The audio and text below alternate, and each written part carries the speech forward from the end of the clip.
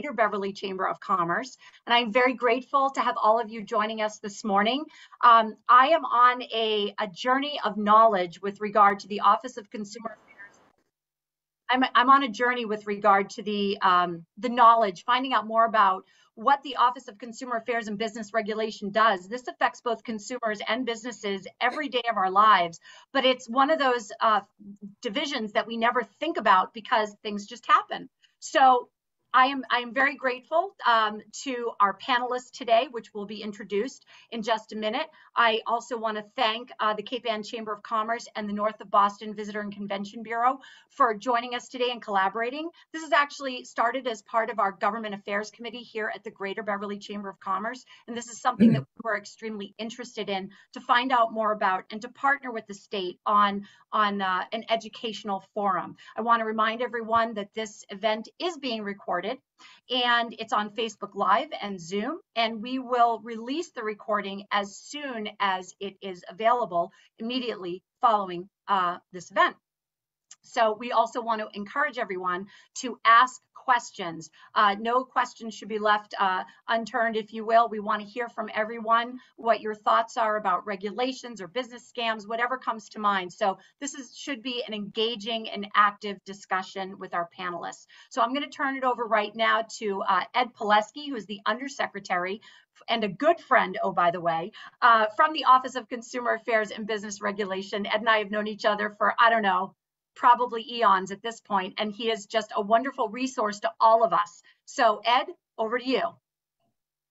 Thank you, Leslie. Uh, thanks for that beautiful introduction as always. Uh, again, again, good morning, everyone. My name is Ed Palleschi, and I'm the Undersecretary of the Massachusetts Office of Consumer Affairs and Business Regulation, or OCABRA as we like to call it. And I'd like to start by thanking our moderator, Leslie Gould, and uh, the Greater Beverly Chamber of Commerce for her organization's partnership and support. Uh, I'd also like to thank and recognize uh, our other partners for today's event, uh, Ken Riehl, the Executive Director of the Cape Ann Chamber of Commerce, and someone I've known for uh, a while now, Anne Marie Casey, the Executive Director of the North of Boston Convention and Visitors Bureau. So thank you guys so much. Um, as a North Shore resident myself, I know the value of your organizations, uh, folks out there, uh, and, and what they bring to the region, and want to say that it's a great pl pleasure to work with you all. Uh, I've been active in chambers of commerce over the years uh, and worked very closely with Leslie uh, at the when she was head of the Lynn Area Chamber of Commerce many moons ago. And uh, I'm currently active, somewhat active in the Greater Boston Chamber of Commerce now.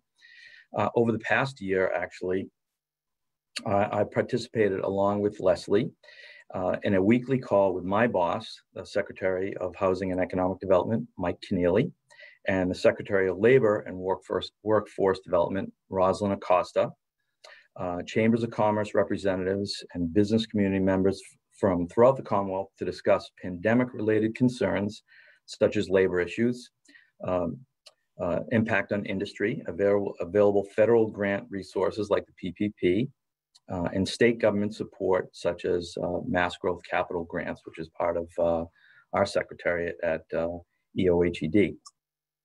And personally, I've always felt that your businesses are the lifeblood of our local economy.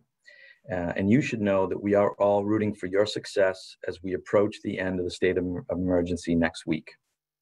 The Baker Polito administration is also doing what they can to support you with promotional campaigns and funding opportunities. In fact, over Memorial Day, over, over the Memorial Day weekend, the administration launched the Let's Go Out Let's Go Out campaign to support local restaurants and encourage in-person dining. Yay, right? So this promotion is an effort to raise public awareness for an industry hit particularly hard by the pandemic. The $1.9 million campaign is being led by the Mass Office of Travel and Tourism in conjunction with the Executive Office of Housing and Economic Development and industry partners. The mission of the campaign is to amplify restaurants as a driver of our way of life in Massachusetts as life returns to normal. It's scheduled to run through the summer. Let's Go Out is an extension of the administration's My Local Mass campaign that has been encouraging residents to shop, dine, and stay local since August. You can find out more at visitma.com backslash let's go out. There you will also find a directory of restaurants. And if your restaurant is not listed, you can visit the site and create a free account to be added to the list. And be on the lookout for a new program from Mass Growth Capital Corporation. The organization has the, the organization that administered 700 million in small business relief program for the administration.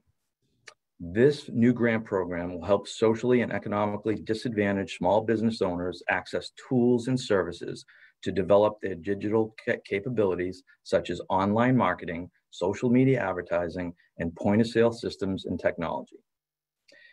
At Mass Growth Capital Corporation's website is empoweringsmallbusiness.org. We wish all the wonderful restaurants in Beverly, and I know a lot of them very well, and throughout the North Shore and all businesses the very best of luck this summer and beyond. Before we go, before we go any further, I'd like to, to thank my co-panelists and OCABRA colleagues for being here today. Layla D'Emilia, the Commissioner of the Division of Professional Licensure, and James Cassidy, the Director of the Division of Standards, and I'll introduce them both um, momentarily. Now, the goal of the Office of Consumer Affairs and Business Regulation is to empower consumers through advocacy, community outreach, and educational programs while ensuring a fair and competitive marketplace for the businesses our agencies regulate. In advancing our mission, OCABRA continually strives to find a balance between protecting consumer rights and supporting business vitality here in the Commonwealth. It's exciting to be here with you today to talk about protecting your business and your customers. These are things that we at OCABRA feel are very important. So a little bit about OCABRA. We oversee and support five regulatory agencies, including the Division of Banks, which examines state chartered banks and credit unions, the Division of Insurance, which administers the Commonwealth's laws pertaining to the protection of the insurance consumer through the regulation of the insurance industry, the Division of Professional Licensure, which through its boards and offices regulates more than 580,000 individuals, businesses, and schools to engage in over 150 trades and professions in Massachusetts. And I'm not going to get uh, too deeply involved in that one because the commissioner we have, we're lucky to have uh, here with us today. Uh, the Division of Standards, which is which enforces accuracy requirements and other standards relating to weighing and measuring devices and their use in the sale of food, fuels, and other products. And similarly, we have uh, Jimmy Cassidy with us today from the DOS, who will um, who will uh, do a much better job than I will um, about explaining his uh, terrific agency. And then finally, and last but not uh, least, certainly, um, we oversee and support the Department of Telecommunications and Cable. DTC oversees the telecommunications and cable industries here in Massachusetts working to ensure that residents receive high quality communications services at just and reasonable prices, uh, re reasonable rates while promoting sustainable competition in the communications marketplace. Now, additionally, we manage a few core programs at the Executive Office of Consumer Affairs, including the Home Improvement Contractor Program, HIC program, and its associated arbitration program and the Guarantee Fund program, the state's lemon laws and data breach notification requirements. We also operate a consumer hotline Monday through Friday from 9 a.m. to 4.30 p.m. And you can call us anytime during that period at 617-973-8787 with any consumer questions. And I believe we'll have uh, our website and hotline number available uh, for this audience. So um, again, feel free to contact us anytime. Um, once again, OCABRA protects and empowers consumers through advocacy and education and ensures a fair playing field for, for the mass businesses its agencies regulate. And again, we're just so happy to be here with you all. So without any further ado, I'd just like to first introduce our terrific commissioner of the Division of Professional Licensure, Layla D'Emilia. The commissioner joined us about 15 months ago, just before the pandemic hit. Prior to her current role, Layla served as a senior member of the Executive Office of Public Safety and Security for the Commonwealth of Massachusetts. She previously served as the Deputy Director for Policy and Boards at the DPL. And we're, we're so very happy to welcome her back uh, to uh, be with us. and uh, we truly value her subject matter expertise. In addition to her leadership skills, Layla is an accomplished attorney who has had a successful career in both government and in the private sector. Layla is a tireless advocate of licensees across the Commonwealth. And again, we're so lucky to have her. So Layla, it's great. Uh, thank you so much for being here with us. So um, please uh, give us some uh, remarks about DP, DPL. Sure, it's great to be here. Hello, everybody. I am um, myself a licensee of a different sort of agency, the BBO, so I understand what licensure can mean for folks in their own lives. So it's super important to me um, that our customer service and our consumer protection uh, mission, the dual mission of our agency is uh, adhered to um, as well. So, you know, just a little bit about the division. We are sort of a shared service model uh, state agency where we oversee uh, 39 boards of registration currently, and it's sort of a dotted line to these boards. So we staff them with lawyers. We're predominantly lots of lawyers at DPL, um, with administrators, lawyers, and we also have um, in 2017 we merged with another state agency. So now we have the Office of Public Safety Inspections, which has also a public safety licensing arm, but also inspectional services for the elevator division and our state building and engineering um, inspector divisions. So it's quite a large agency with 50 employees. Um, and part of what sort of drives us is to make sure that folks in their profession, so it goes from uh, you know electricians to plumbers to massage therapists to psychologists. So it's a whole swath of professional licensing as well as public safety, construction supervisor licenses, hoisting licenses, um, S licenses. Um, the Mass State Athletic Commission um, is also so MMA fighting and boxing in the state is also regulated through DPL and the Office of Public Safety Inspection. So it's a really large uh, swath of professional licensing that we oversee. And we really rely on our boards who are the experts in their industry to regulate and set up rules uh, for professionals to adhere to. And those rules will then set a standard of practice in the Commonwealth that then consumers can make sure by, you know, they can look up to make sure someone has a license on our public facing website. Um, and so it, it, and if they have a problem with somebody um, that is a licensee on our public facing website, you can actually file a complaint online or you can download the application. And we do have some consumers who prefer to have a paper application and, and write it out and snail mail it in. I will say the last time I was at the division, we were not online and everything was paper driven. And we are still have a lot of paper that we have to still cull through, but we have gone online. So the five years I was gone, they are now online. And thankfully, that is a, a, reality because of the first, I think the second day of this job, we were all sent home. And if we were not online, I think it would have created a really um, a bee's nest for us um, because again, the snail mail would have gone into the office and we weren't in the office. So um, again, I don't want to talk too long, but you know, we're here to sort of set up standards of practice for a whole host of uh, professional licensing and um, help the consumer constituent and the professionals understand what their ro role is in, in the Commonwealth um, under a licensing standard. And I think, um, am I supposed to to, to let Director Cassidy is next up. I think I'm supposed Thank to. You. Thank you, Commissioner. I, I, I want to introduce Jimmy. I gave you such a great introduction. I have to um, I have to repeat that from my friend James here. So again, um, we welcome Director Jimmy Cassidy, the Director of the Division of Standards. Jimmy joined OCABRA almost three years ago, a little bit before I did. Uh, coming on board um, he joined us from the city of Cambridge, where he was the former sealer of weights and measures. Jimmy has more than two decades of experience with weights and measures and a cumulative 34 years of local government experience. He served as chairman for the National Conference on Weights and Measures, he is highly respected within state and national weights and measure organizations for his subject matter expertise and leadership.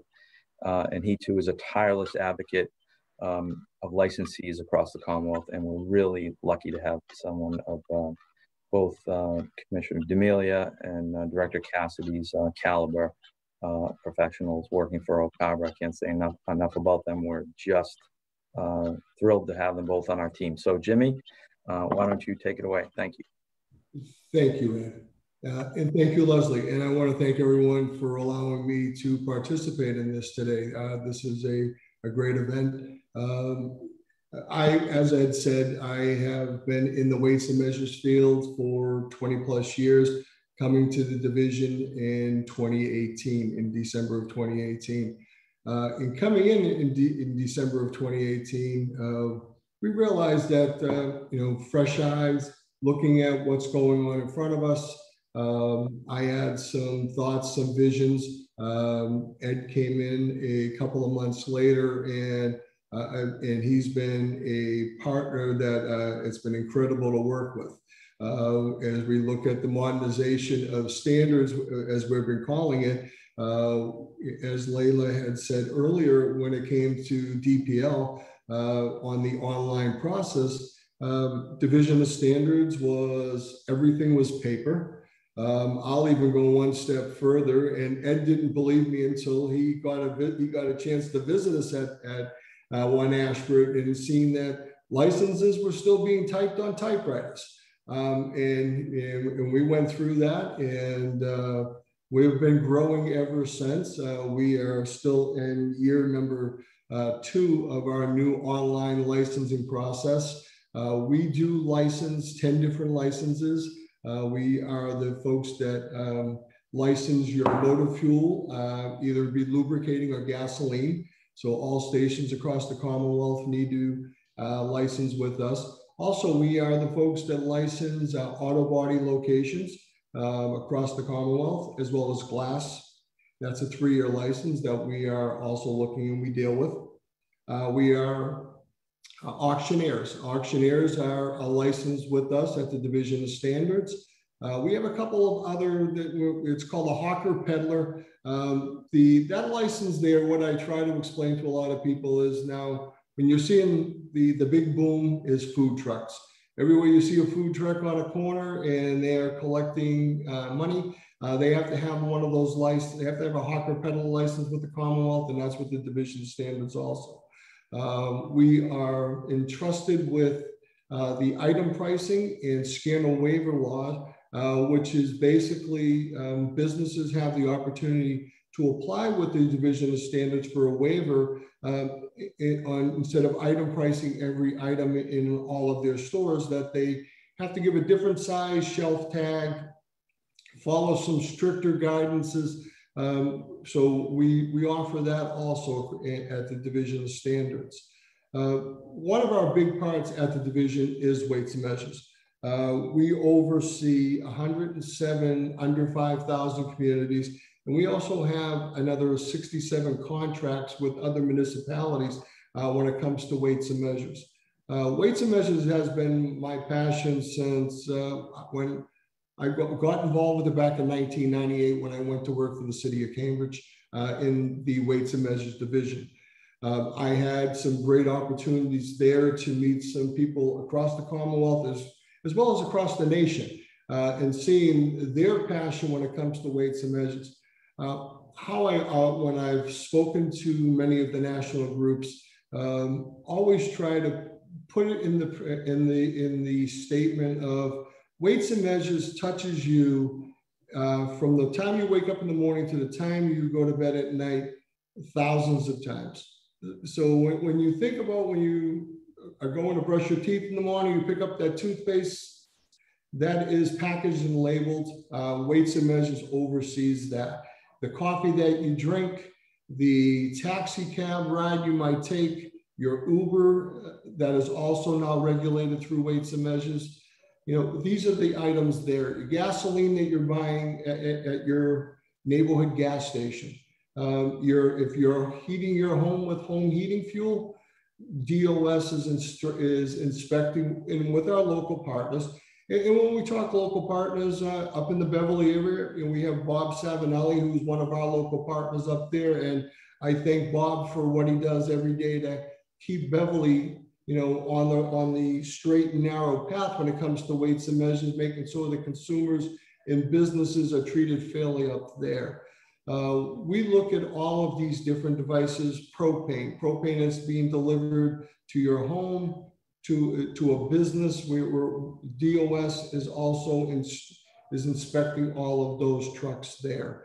Uh, we, when, when you look at weights and measures, um, and we, we go from scale systems in all of your markets to landfills with truck scales, uh, you know, we, we are a little bit of everything that is out there. Um, I, I consider DOS, and, and this is my impartialness, as being one of uh, state agencies' hidden jewels. Uh, we are a small state agency, but we touch every consumer and every business across the Commonwealth on a daily basis. a lot of our people are, we, we work, are behind the scenes. We are there to make sure you as a consumer are treated fairly. And we, it's all, we try to make it in a seamless manner. Uh, that when you're going in and purchasing whatever you're doing, uh, that is a it's being sold by net weight. Uh, we are working with um, DOS compliance officers and also with our local partners uh, to, to, make sure that you know procedures are, are in place in all of these businesses. Uh, you know we are looking at this all uh, we are here to make sure that the businesses have a level playing field. You know, th this is the, the ultimate goal. When we talk weights and measures, it's always been making sure that equity is in the marketplace. And that is to make sure consumers are treated fairly and that every business is being treated fairly. Um, you know, the, the agency, we are continuing to grow. Um, and no pun intended, the cannabis is one of our newest uh, items that we're seeing on a daily basis um, because all of this is being weighed and measured. So we are working with the Cannabis Commission and every business across the Commonwealth to make sure that accuracy is number one.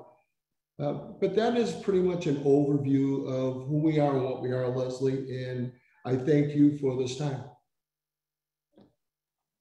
No problem. My pleasure. Let's get right into the, the questions. You guys ready to go? Ed, Layla? Right?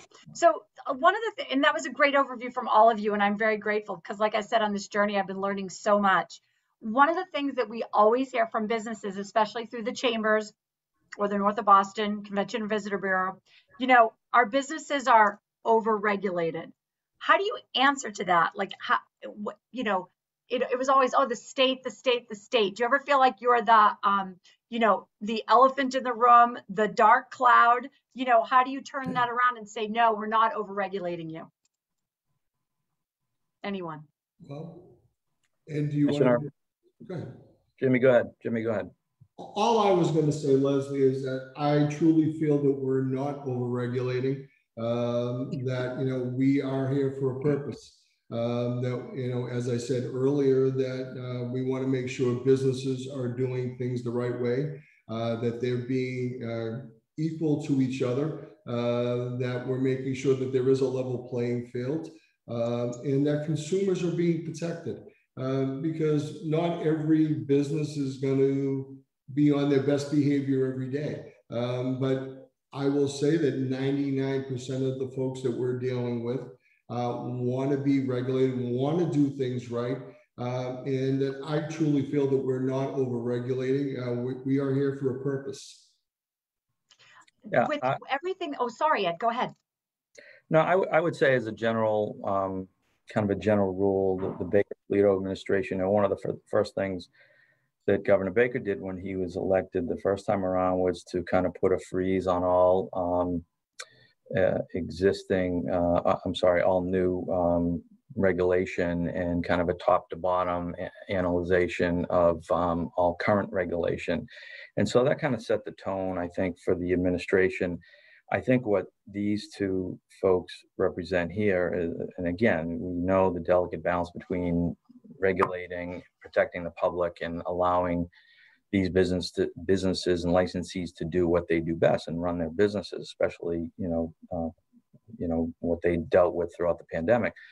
But I, I think that um, the way that uh, these two folks approach their agencies, I know it's kind of like smart regulation. They try to do everything, um, again, with the focus of protecting the consumer, but not, you know, kind of over regulating. They're very, they, they work, these, these people work with our licensees, they work with businesses. Um, the day to day things that they do to help um, uh, you know, individuals and businesses, um, you know, obtain licensure so that they can, you know, again, go about their business. Uh, it, it's, it's, it's really an effective process. And again, I think it's always um, keeping in mind, you know, not to come down on businesses to the point where, you know, we're affecting um, how they do business. They're always um, willing to work with people and do absolutely everything they can to try to get them you know, up and running as quickly as possible. So that that's kind of just a general overview of how I think the administration feels about regulation. There is a place for it, and um, you know, it, it's it's very it's a very delicate balance, and I think our our um, folks do a pretty good job at that.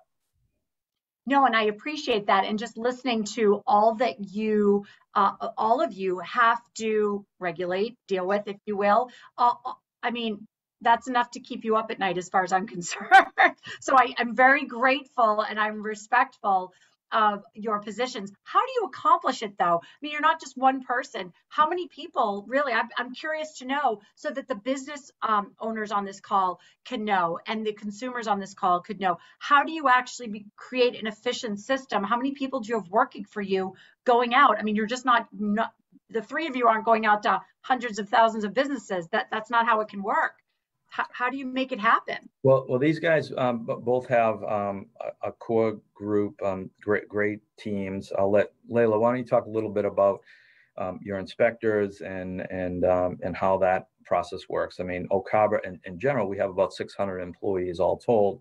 Um, the DPL is probably our largest agency. and Layla does a great job leading that. So, Commissioner, maybe you could talk a little bit about that process.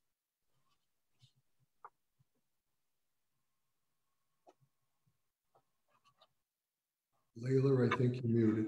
Layla muted.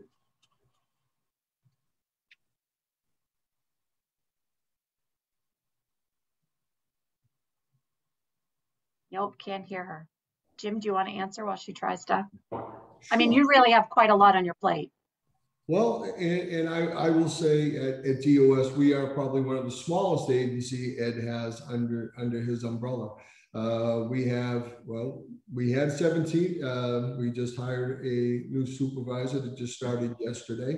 Um, we have 17 employees and we'll be hiring another one very shortly uh, to be working at our metrology lab. And I, I do want to also uh, kind of, we, we have a field supervisor that's going to be looking over our compliance group. Our compliance group is 10 compliance officers that are across the Commonwealth, uh, from the Berkshires to the Cape and the Islands. Uh, but we also have local partners. Uh, some of our cities and towns have uh, a sealer of weights and measures or, or an inspector in place. Uh, but what we are entrusted with with that is making sure that all those local folks, as well as my folks, are standardized trained uh, in understanding the weights and measures aspects, seeing what's going on, uh, we do have a metrology lab. Presently, we're in Needham, uh, where I am today, uh, but we're going to be moving in out to Ashland uh, in middle of August. Uh, so yeah, DOS is, is moving out there. We're expanding, adding another employee to the laboratory. we look at and make sure that all standards, and when I say by standards, are testing equipment that would be for um, testing of gasoline that a local inspector or my inspectors would have uh, are calibrated here at, at, this laboratory here, as well as all the weights that they're used to, to calibrate and test scales. Um, and we also, at this laboratory, we test the uh, antifreeze that is sold across the Commonwealth uh, to make sure that it passes a freeze test. Um, you know, so I'm, I'm very lucky for a small agency that I have. I've got great people uh, that are working with me. Uh, as you say, you know, sleepless nights. Yeah, we've all had that. Um, my gray hair is not there because I shave it off every day. So, you know, that's how we work on that in, in my household. But uh, that, that's where we are at DOS. Layla? Still can't hear her. We still yeah. can't hear. Oh no. Okay. Listen, I, let's talk about the consumer because they're the other part of this equation. This is that level playing field. This is where we have to balance things, right? It's the consumer is just as important as the business. How do you protect the consumers? Ed? Okay. So we um, we do all kinds of consumer uh, forums, such as this one. We have um, we're very active um, uh, on social media. We're, we're um, constantly partnering with organizations like the Better Business Bureau, AARP, again, chambers, different, um, different um, events throughout the community uh, throughout the year. And, and really, um, our uh, mission is again advocacy and education. You know, we don't really have um, we don't have um, you know the, the teeth that the attorney general's office has in terms of enforcement but what we do have is we have kind of the bully pulpit. We, we do have the ability to uh, educate the consumer, and we try to do that um, on a daily basis. So, you know, I think um, it's it's really, um, you know, the entire kind of um, the, the, the entire uh, reality is really one step forward, three steps back in terms of, um, you know, ed education um, uh, and, and, awareness um, for consumers about the various scams that are out there. It's really it's really endless. I mean, it's just a it's it's a constant battle. And what really is needed is a, a constant dialogue, constant communication with groups like this, um, and and people really talking to each other, protecting each other, and um, and staying again one step ahead of the scammers, the fraudsters, and the criminals, as we like to say. Um, there are there are many of them. Um, you know, really kind of too numerous to mention, um, but I'll just get into a couple. Um, the Division of Banks is in the process of uh, working with the legislature. There was a money transmitter bill that was filed. It's a top Division of Banks priority. Uh, it's uh, intended to regulate the payment apps like Venmo. Uh, it's, it's, a consumer protection bill. Uh, all states except for Montana currently uh, regulate cash transmitters, and, and uh, currently Massachusetts only has regulations or law for foreign transactions. So if you think about this for a minute, literally that's international uh, money transfers, and uh, you know we currently have nothing that protects um, uh, transactions on pay online payment apps for a transaction. Um, you know for uh, to, to, to pay someone uh, in Florida, for example, where my son where my son happens, my younger son happens to live. So we regulate international stuff, but we can't, we don't even do it here uh, domestically. So um, this legislation would allow, for example, the Division of Banks to examine these companies. We're hopeful that this is going to go through. And um, in the meantime, uh, I know Venmo and app payment apps like that are extremely popular, uh, even in my own family. Um, and uh, it, it's uh, it, it, certainly is a great technology used by many, but just be careful. We've heard many stories about some of those payments going into the ether and, and never being received. So um, just be very careful, always checking um, your bank statements and, and the payment app. And in the meantime, you know, consider alternatives. There's a, there's a payment app called Zelle, Z-E-L-L-E, which is a bank-to-bank um, um, app. So um, that's just kind of one example. Leslie, I don't know if, if you want to get into uh, others, but if you have another question, I want to certainly make time for that. But that's, um, you know, that's a hot one. And uh, and again, there are others. But the, the, the key is, again, it's communication, dialogue, staying one step ahead of the scammers, fraudsters, and criminals. Uh, it really is a daily battle because they're everywhere. Why don't you give us one more, and then I'd love to hear from Layla if she got her the sound all set as well. So give us one more scam that we really need to watch out for, whether business or consumer, because it's a frightening world we live in. I mean, technology. I mean, you know, every decade, right? Every era has something to watch out for, but this is a little more, ins- to me, this is insidious because you can't see it happening until it does.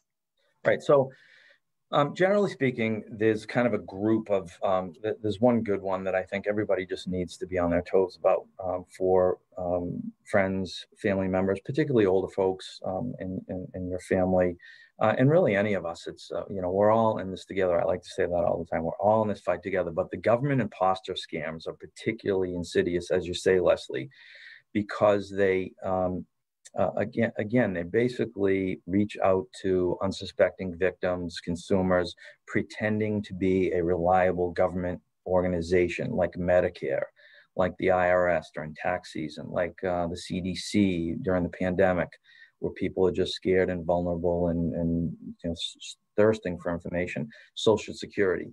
Um, basically, all these reliable governmental organizations um, they're not going to contact you, for example. They're not going to, Social Security is not going to contact you to notify you that, that your Social Security number has been canceled. Um, uh, Medicare will not, will not contact you to ask you to verify your Medicare number and so on and so on. These are all um, phishing attempts. These are all attempts to get your personal financial information. In the end, that is what this is all about. So it really is a matter of staying vigilant, again, talking to your friends, neighbors, family members, and again, particularly older folks uh, who may be uh, at home a little bit more. Um, well, a lot of people have been home during the pandemic. So um, again, but it, it's all of us. Um, you know, I've uh, at times, um, you know, received text messages and uh, you know, some of these spoofing technologies that are used. Um, a lot of these um, texts appear to be from reliable, reliable uh, organizations like this. So you have to be careful not to click on links, live links that could, um, you know, infect your device or your computer with malware.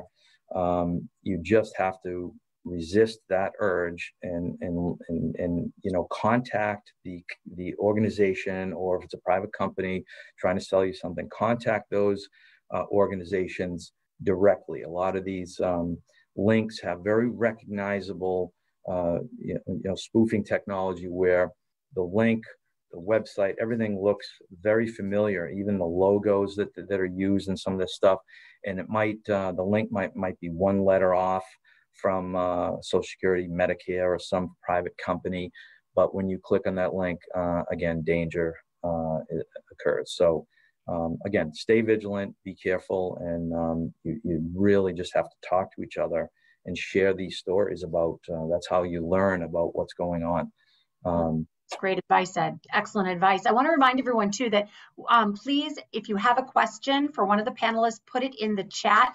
We we are monitoring that, so so please uh, feel free. If not, I'm just going to keep going with the questions as well. But Layla, would love to hear from you if your sound is good.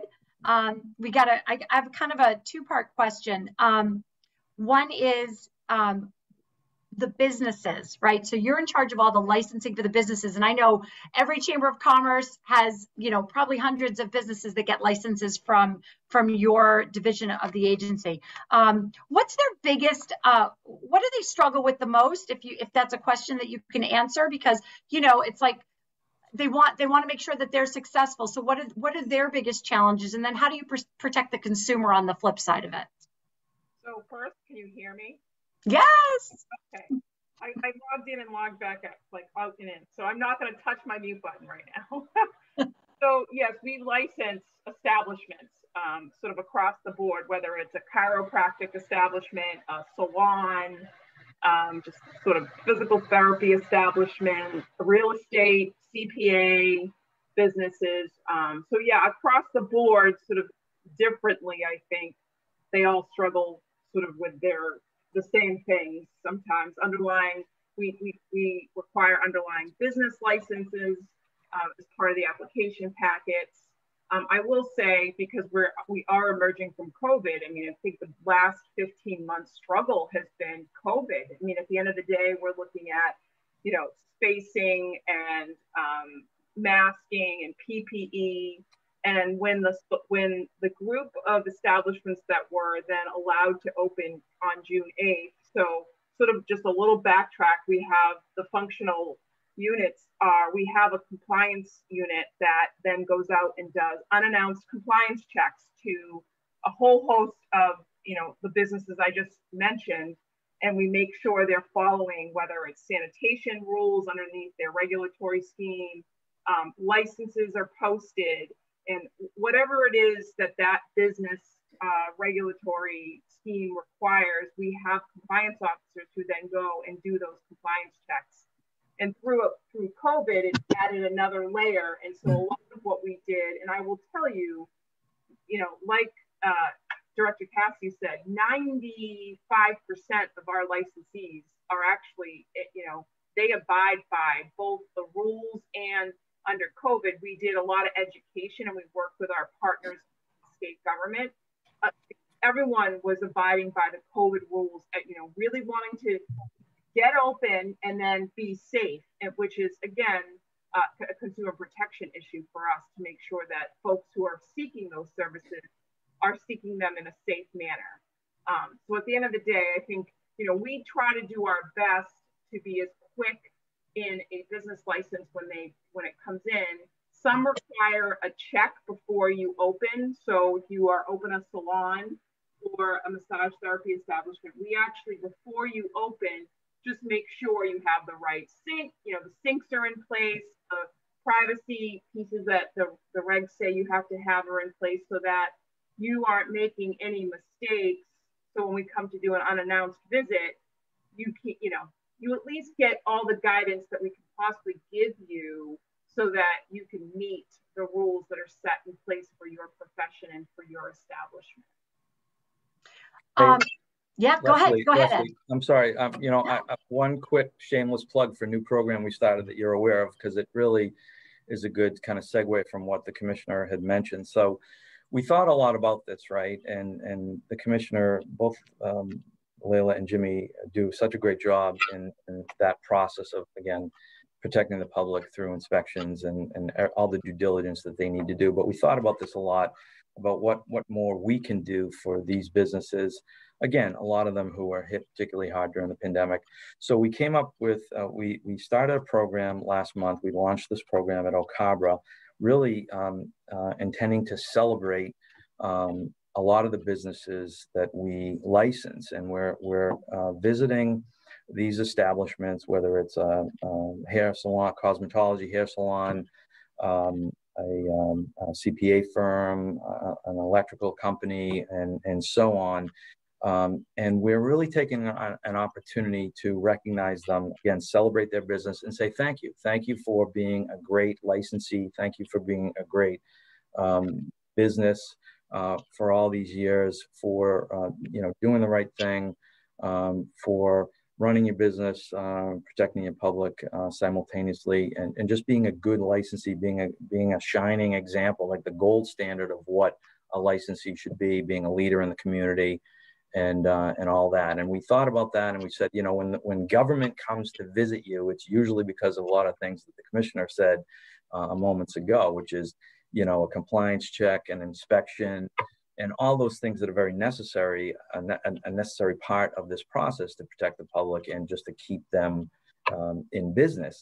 But um, what we're doing is something entirely different, and and uh, you know, government coming knocking on your door, um, not for that reason, but um, again to celebrate what they've what they've accomplished and to try to give them a little attention and recognition, especially at a time where they I think they need it the most. So See, this is so great that you mentioned it because you stole my thunder as usual, and I love it um, because I was going to ask you about that and sell and, and basically celebrate you and this agency to say it is so important now more than ever that there is not this top-heavy feeling that there is a simpatico relationship, if you will, between um, the government and the business community, and just you showing up and and and having those relationships building relationships building trust um, having people ask questions that maybe they're they now that they feel that there's someone in their business um, from the agency that they can actually talk to them about some of their challenges. And you're now you're on ground zero.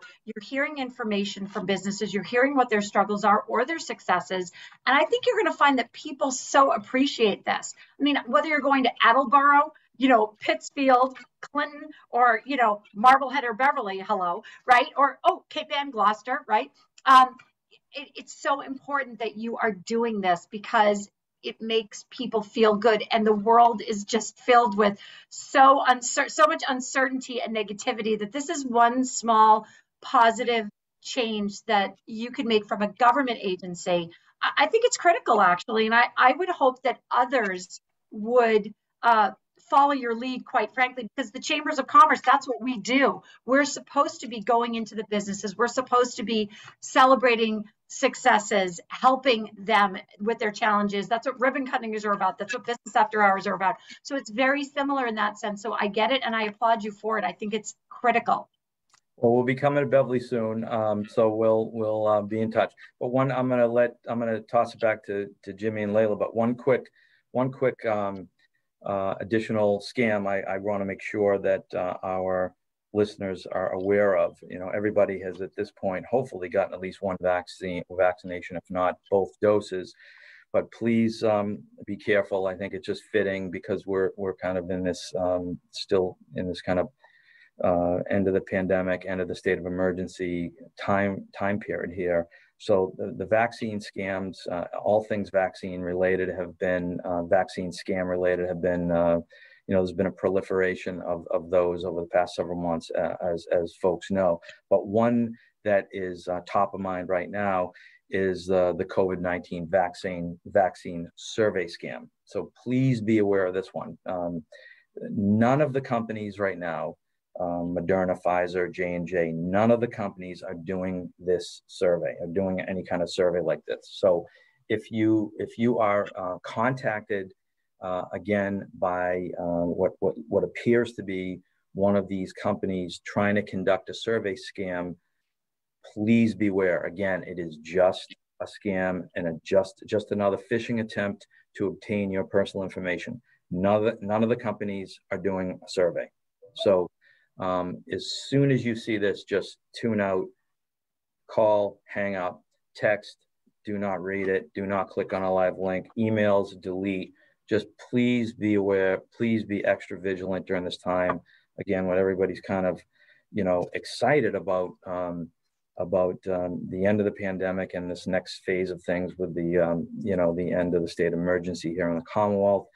Uh, and again, finally, um, one last thing, you know, be careful not to post your um, vaccine cards as well. You know, that has a lot of personal information on there. So, um, you know, block out all that, all that information, the, the, the, manufacturer, the date, um, all, all that, all that information you don't want shared online. So do what you can to protect that personal information. So, um, no, that's uh, listen. You mentioned three scams that are really critical: the vaccine scam, the Venmo scam, which I'm on Venmo too. So I mean, we all a lot of people are. I didn't even think about that, and um, the calls from the government, of course, which we've all been about to be arrested at our front door. We all know those, and and those are critical. Those are huge for people. Um, I wanted to ask Jim and Layla. Um, one of the things I've been so impressed with uh, from our state, uh, specifically, is we're really good at following rules. And are you surprised you find that? I know, Layla, you had mentioned, I think you said about 90%, I think it was Layla, said about 90% of your businesses that you're licensing that they really do follow the rules, or maybe it was you, Jim. But I mean, are you surprised by that? Like, we're actually real, we fall right in line. I'm not. I think most people want to have a set of rules to follow. Um, again, as a licensed attorney, you know, I have a set of rules that I need to follow, make sure that I don't even when I was in the private practice, uh, it, it, I have family members who ask me about, you know, doing a will or a trust with them. I'm like, no way, that's malpractice. I have no idea. I took one class in law school. I can't do your will. so yeah, I think I, I am not surprised by that. But unfortunately, as we all know, we need rules in place for those bad actors um, to understand and have consumers have a way to hold those bad actors accountable. Um, and and there and it goes back to you know are we overregulated? Absolutely not. I mean, think about an electrician or a plumber. These are you know electricians deal with light, heat, and power. They're very it's dangerous. Plumbers deal with potable water and non-potable water. things that we, you know, in our house, our in our homes that we drink, um, you know, across the board. We have health boards with rules set up so that you're not, you're going to somebody who's a licensed mental health clinician or a social worker, it's not just somebody that didn't get the training, the education, and you know are following the the right rules to be able to then help with you, you know, your mind and your body. So to me, rules are set up because most of the time people follow them and follow them well, but unfortunately we need them for that consumer protection piece for, for those bad actors that like to sort of perpetrate and scam people in, in the best in the way that they know how, which is trying to skirt around all those rules as well. So. Jan, do you have a comment on that? Well, what Commissioner D'Emilia just said is, is correct. Uh, and I, I, truly feel that we're very lucky in this Commonwealth. Uh, you know, I, I, think our biggest part is that we work on education. Uh, I think we work to educate consumers, we educate businesses on what rules and regulations are there for. Um, I will say, you know, when we let's let's look at a gas station real quickly. Um, they want to make sure that their devices that they're selling that fuel that they're not giving away or they're not, you know, taking from consumers. They want to make sure that it's a fair, equitable transaction. Um, and I think by having rules, regulations in place gives them the guidance and the guidelines that they need to be able to follow. Um, and I think we're very lucky in the Commonwealth because uh, we, have got some, we've got good people that are looking looking to help people. Um, I, when you mentioned consumers earlier, I consider consumers to be one of my biggest allies. Uh, it, it's like another set of eyes in a business. Um, because if they see something that's not uh, that doesn't look right to them, they they have no problem letting us know. Can you please check this out? Can you have someone look into this? And nine out of ten times, Leslie, they, they've found something that is not right uh, that has helped us to solve problems. So if they, if a consumer has an issue, um, they can contact you directly, but all of yes. your offices? Yes, they can. They can, they can contact us either via the phone or they can send us a, um, an email or uh, an email complaint. Um, they can reach out to me. My, my email and phone ring seven days a week sometimes. Uh, not that we're always looking to be on Sunday being on call, but you know what? We're here to help we're, we're here to make sure that consumers and businesses are treated fairly, uh, and we're always going to be there for them. I have to tell you, we just got a, a, a, question for the chat. We don't have a lot of time left. We just got a couple of minutes, but I'm going to read this quick.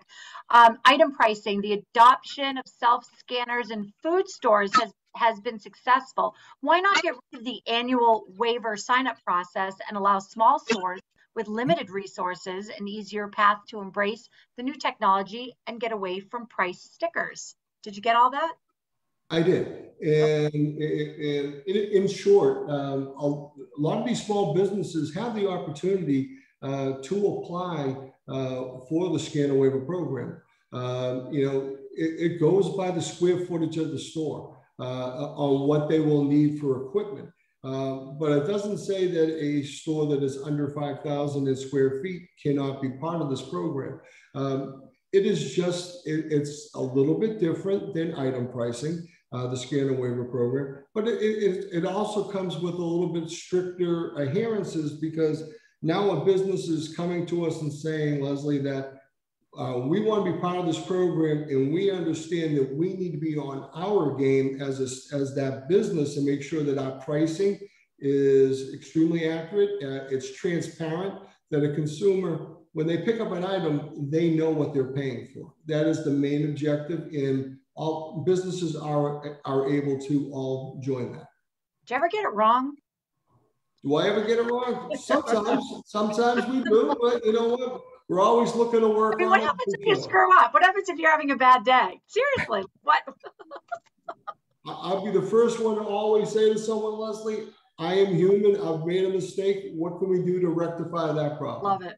I love it. I love it. All right, listen, we have to wrap up. Joe, how about some last minute comments from all of you? Uh, any closing remarks? And just know I am so grateful for everyone who's been on the call and, and for all of your time today. Uh, real, real, real quick one. We, we, you know, I'm going to use my my time.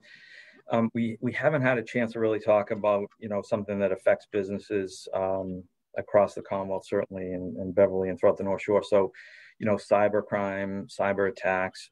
Again, as if, as if businesses didn't have to worry about everything under the sun, and now, you know, even smaller businesses have to worry worry about this technology. Even uh, you know, everybody um, uses systems, and it's just uh, everybody's vulnerable. So just last week, the Mass, you know, the Steamship Authority yes. had a, a, ransomware attack, and um, you know, so uh, what, what can companies do? Uh, again, there's a lot of people that know a lot more about the technology than I do, but you know, they have to use a firewall for the internet connection, install and use regularly uh, updating uh, anti-malware, antivirus, and anti-spyware software on every computer in the organization, downloading and installing um, software updates um, when available.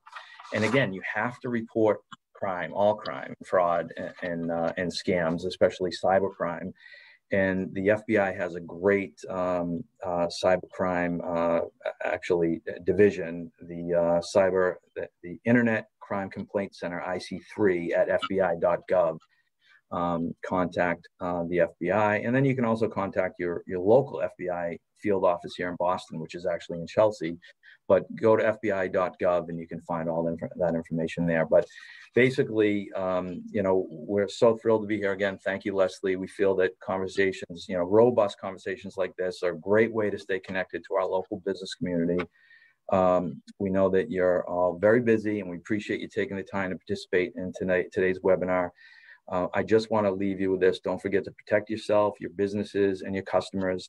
Stay vigilant. Don't let your guard down for one second. Stay one step ahead of the fraudsters, scammers, and criminals. And remember, we're all in this together. Don't hesitate to call us. Uh, our terrific agency heads here today. Um, we are accessible. We're available. We want to be partners. I love what Jimmy said about the, you know we're consumers, customers are like partners. And again, the way Layla runs her organization, we want to be there to help businesses. We're not punitive. We are partners with them. We want to help them in their business, serve their customers, uh, and, and so that they can do what they do best. They can make a living for their family serve their communities, and do what it is that they do best. And we do not want to, um, you know, we don't we, we don't want to interfere with that. We want to we want to support them and and be there for them. So thank you again so much. Thank you again so much, and that was excellent. I'm so grateful. Any last minute quick thoughts from Jim? I would, I would dovetail to say um, Public is our partner here. So please engage if there's a practice that's happening in the regulatory scheme that, that as a business owner or a licensee you think in practice doesn't work, please engage with the board, your board of registration or with the program. Let us know and be part of the solution and offer, you know, sort of what the alternatives could be. Because again, we I can't pretend to know 39 different professions and all of the intricacies and nuances. And so I think if we can just keep talking and being engaged, it really can help the Commonwealth. Very grateful. Jim? And just to feed off of what uh, Commissioner D'Emilia just said is that, you know, we, we at the Division of Standards feel the same way. We are here to help. Uh, we are still redefining and we look at every year as we go through our licensing process what can we do better in the new online process to streamline, uh, make things work, and be a little bit more customer friendly? Um, not every day we're, we're going to satisfy every person, uh, but if we can address their concerns, complaints, um, I think we're on the right path. Ed, I can't wait to see you in Beverly. And Jim and Layla, I can't thank you enough for also being part of this. This is my first experience with uh, your departments and agencies, and I'm again just a wealth of knowledge. I, it makes me want to learn more about weights and measures and standards and all of this. I, am really naturally curious about it, um, and it's so important for our business communities throughout Massachusetts and the Commonwealth. So I'm very grateful for your time today and for everyone behind the scenes who made this happen. So thank you, everyone, and I hope you have a fabulous day. Thanks, Leslie. Thank you. Thanks, Ken. Thanks, Anne Marie. Thank you, guys.